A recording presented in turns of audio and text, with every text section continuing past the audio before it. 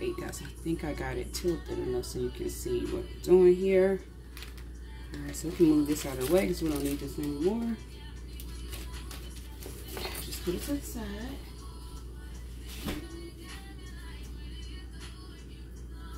Donka, donka, donka, donka. Okay, I'm sorry. I'm in a great mood this morning, guys. Okay, so our wax is at 180, between 180 and 200.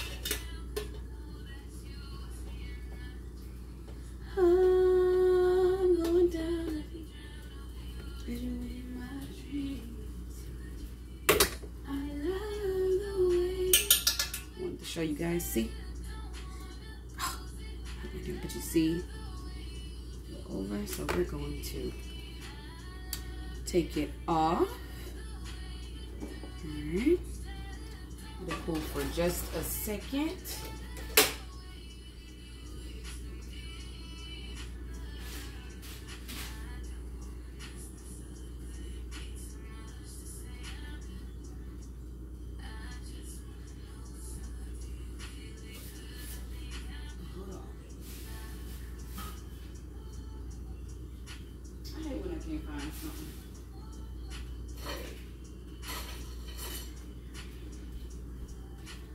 These guys can see that I've been working, but you need one of these to keep the stem in place, okay? Make sure you clean these, okay?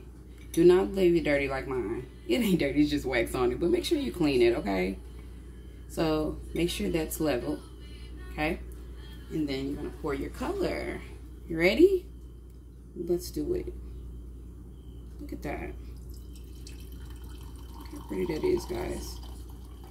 So that's just one color. Look at that. That might just be one candle. Yeah. Yep, I think I'm gonna just make one candle with that color. Isn't that pretty? Let's do it. Let's finish it. Yeah, it's just gonna be one color. I'm sorry if I made you feel less than who you are. So, before I started, I used to mess up a lot of labels. so many labels, you guys. Wait, look.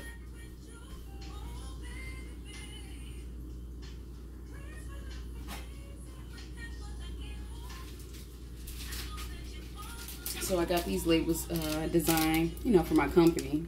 So I used to put them on, and I did not have this pot, y'all. I used to use a boiler. The boiler that you seen? Yep. I used to use that boiler.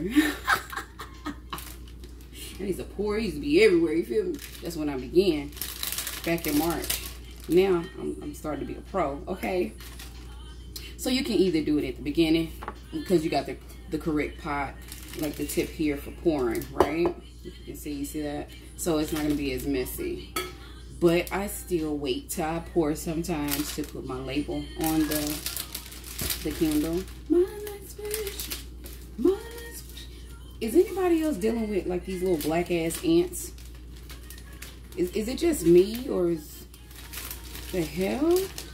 Oh, All right. So you get your label and you put your label in the center or wherever you want to put it. Ta-da!